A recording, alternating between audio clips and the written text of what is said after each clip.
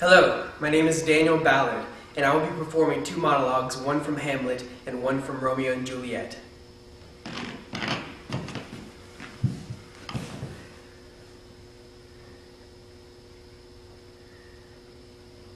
Show me what thou to do. Would weep, would fight, would fast, would tear thyself, would drink up I'll eat a crocodile, I'll do it! Dost thou come here to whine?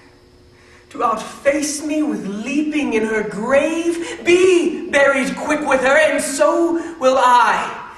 And if thou prate of mountains, let them throw millions of acres on us, till our ground singeing is pate with a burning zone make Ossa like a wart. Nay, and thou mouth, I'll rant as well as thou. Hear you, sir. What is the reason you use me thus? I loved you ever, but it is no matter. Let Hercules himself do what he may. The cat will mew and dog will have his day.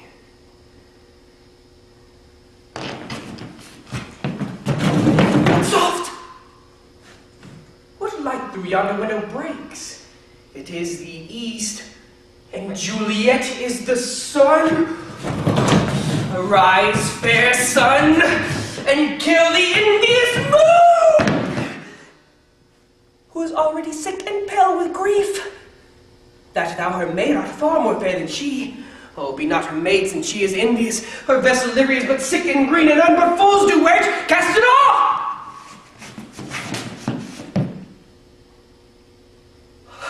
It is my lady. Oh, it is my love. Oh, that she knew she were. She speaks. Yet she says nothing. What of that? Her eye discourses. I will answer it. I am too bold. Tis not to me she speaks.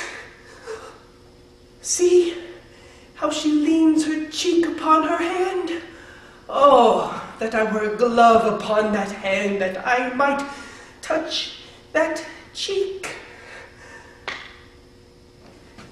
Thank you, Daniel Ballard.